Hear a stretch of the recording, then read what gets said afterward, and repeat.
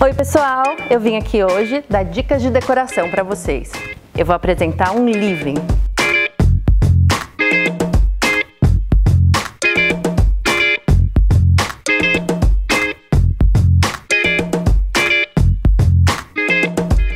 A primeira dica que eu vou dar para vocês é sobre planejamento.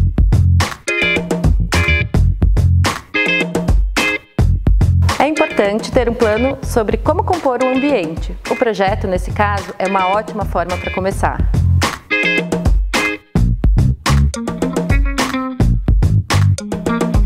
A segunda dica é dimensionamento. Considerar o tamanho dos móveis e dos ambientes é imprescindível. Móveis grandes em ambientes pequenos ou móveis pequenos para ambientes grandes não ficam harmônicos e aconchegantes.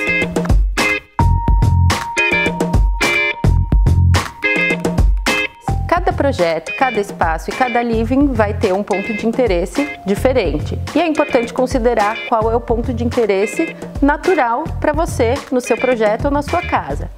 Nesse caso, a gente tem uma estante.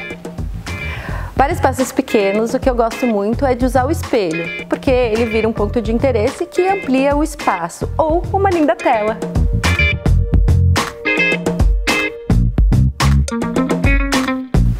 Pode ver, são muitos os pontos possíveis. O importante é eleger um e desenvolver seu projeto em torno disso.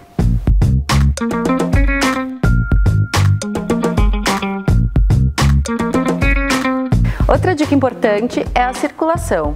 Você tem que promover espaços confortáveis entre os ambientes e entre os móveis também.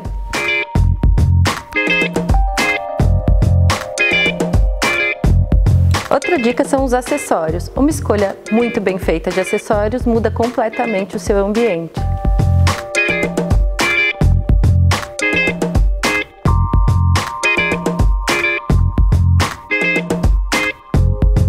Iluminação. Um bom projeto de iluminação muda tudo, cria diferentes cenários com luzes diretas ou indiretas.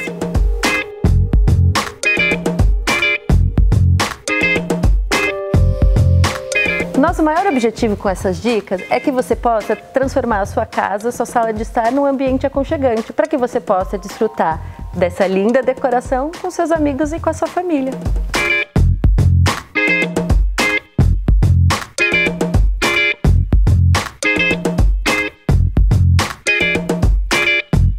Espero que tenham gostado. Até a próxima!